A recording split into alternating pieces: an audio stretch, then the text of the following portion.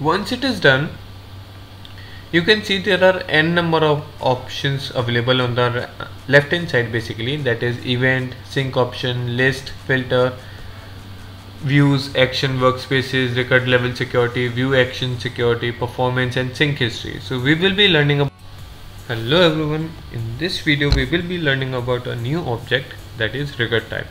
How we will be using record type object in Appian to use that later on in our application. So let's have a few example over here. Right now you can see on your screen that we have certain record types. That is repair item collision repair repair type vehicle repair section and reference data.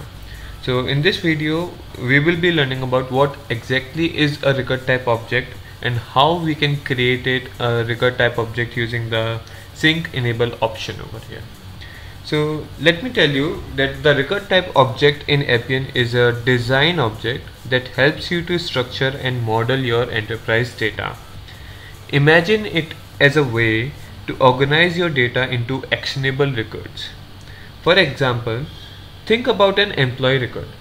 You want to see the employee name, title, department, start date and other details as well. Plus, you might need to update or add new employee info. Appian records let you do that just like that.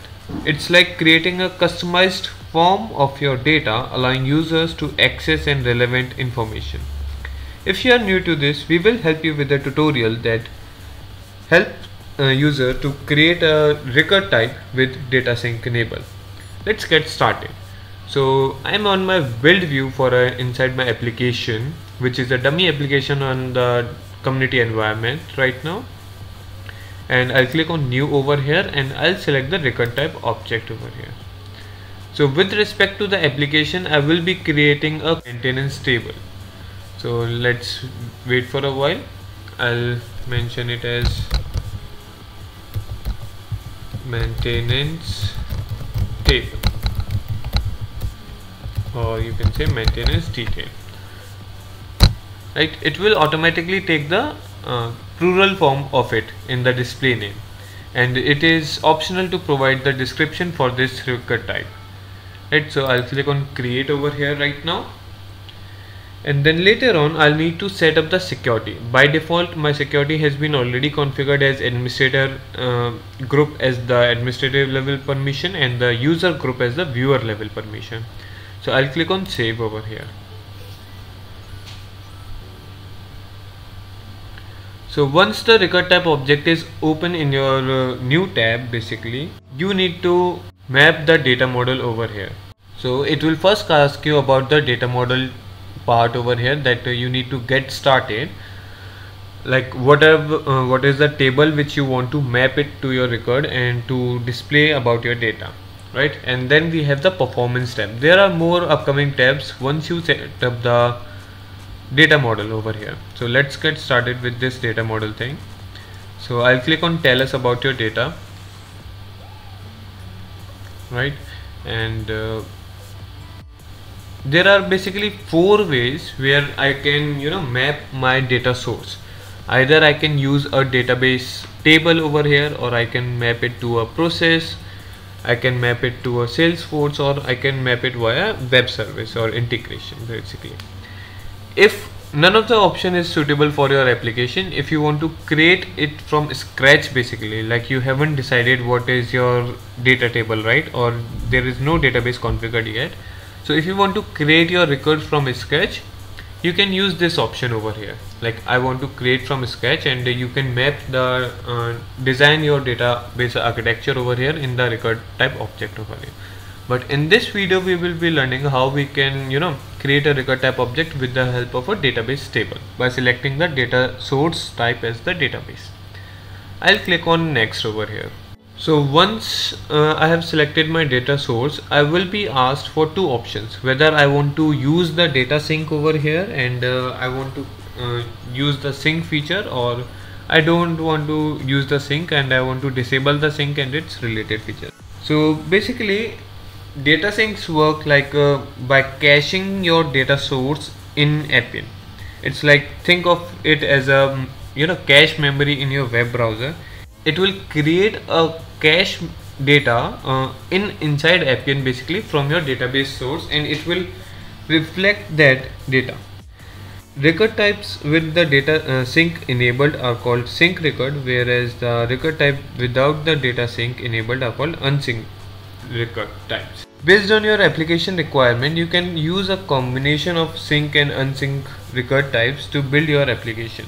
So in this part we will be using our data sync enabled over here.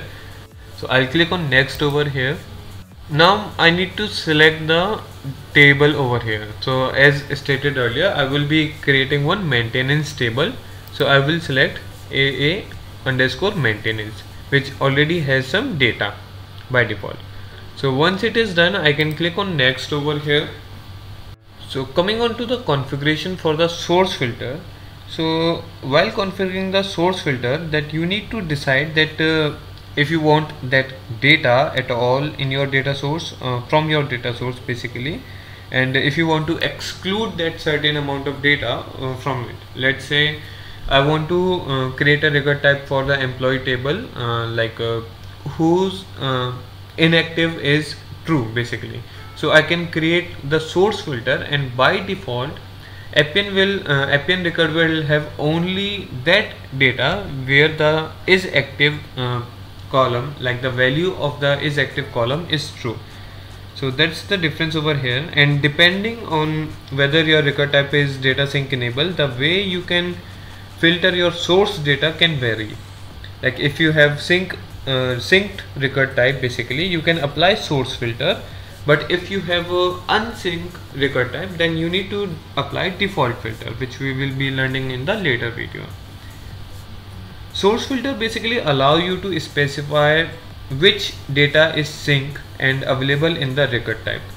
With source filter, you can exclude the unnecessary data and even work with data source that would cause your record type to exceed the sync row limit. So we can click on next over here to move further. Right now I don't want to um, create any filter over here while configuring the data source I need to map those source field basically to my record field these are the source field which are available and these are the record field so in case I want to you know change the name of the mm, change the name and data type for them I can do that basically. So right now I don't want to make any changes. It is automatically uh, by default it's good. So I'll click on finish over here.